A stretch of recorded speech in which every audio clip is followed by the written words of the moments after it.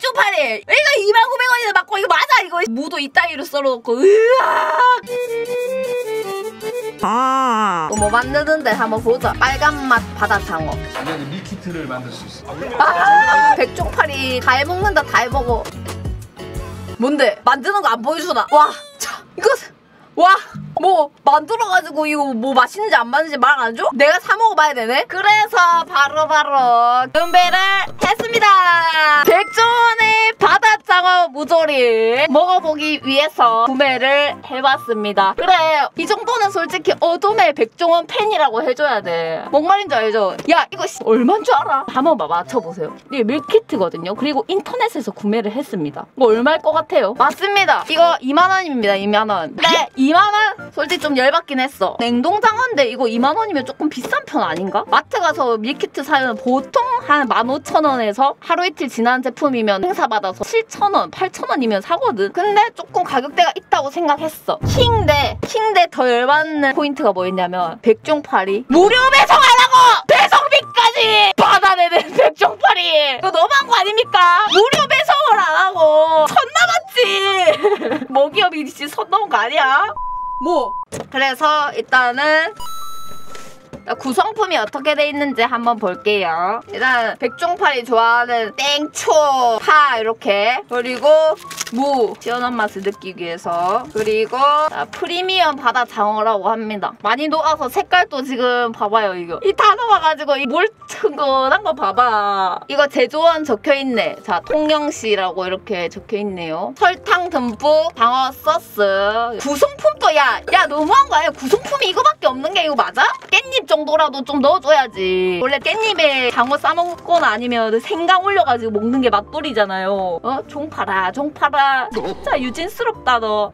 알바노? 따라라. 자, 내 돈 내 산이고요. 뭐 광고받고 그런 거 아니고요. 한번 먹어보도록 하겠습니다. 자, 한번 열어볼게요. 따단. 오, 오, 비주얼 좋다.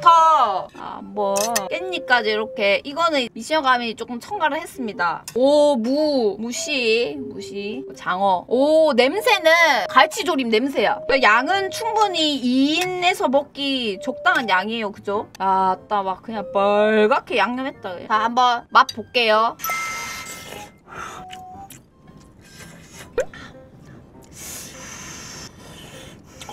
음. 왜 체리밥을 뺏어 먹는 거냐? 그것도 쿵척거리면서 비주얼이 좀 개박 같긴 해. 힘내라. 진짜 뭐 안 넣은 맛이다. 그냥 뭐 재미도 없고 감동도 없고 진짜 그냥 무난의 극치예요. 맵고 그런 것도 없어. 양념은 딱 그냥 갈치조림의 그 양념이고요. 냄새도 완전 그냥 갈치조림이고. 근데 이 생선이 이제 장어가 들어갔다 보니까 장어의 맛이 끝에 딱 씹으면 씹을수록 나는데 특별한 맛은 없어. 맛있다고도 말할 순 없어. 그냥 그냥 백종파리가 만든 것 같아.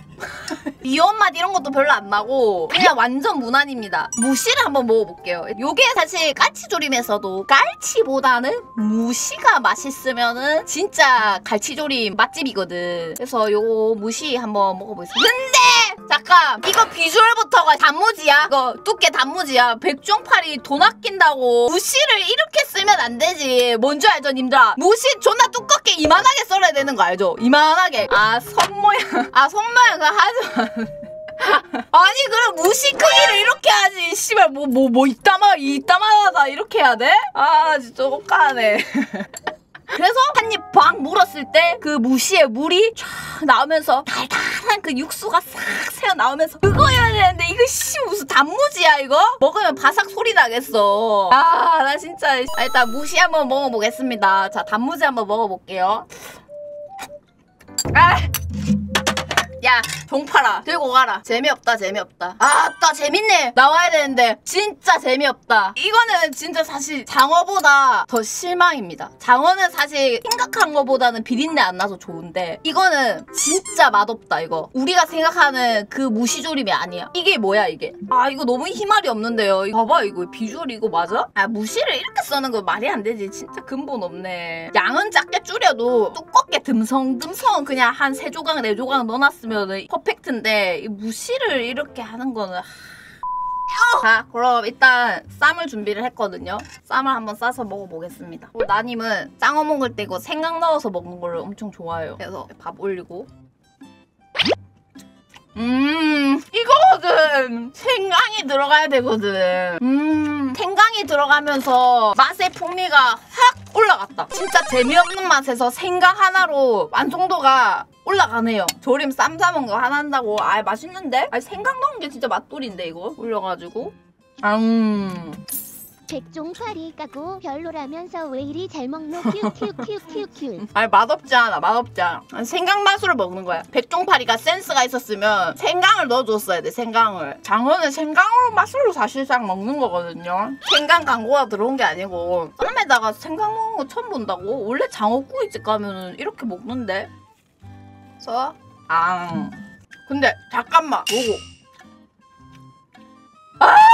백종파 꼬리 어디 갔어 꼬리? 꼬리가 왜 없어? 와 진짜 유진스럽다. 백종팔이 지가 이거 손질하다가 꼬리 훔쳐 먹었네. 와!